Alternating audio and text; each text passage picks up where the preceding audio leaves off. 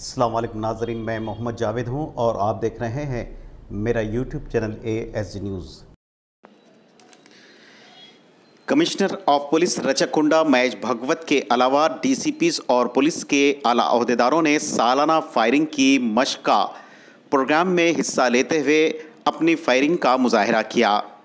बहरहाल नाजरीन, देखते रहिए ए एस जी न्यूज़ और कीजिए सब्सक्राइब।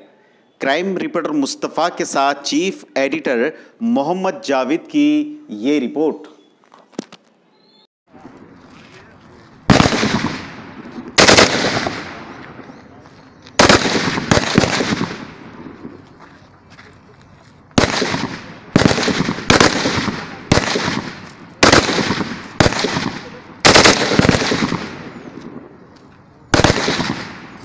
Thank you, sir.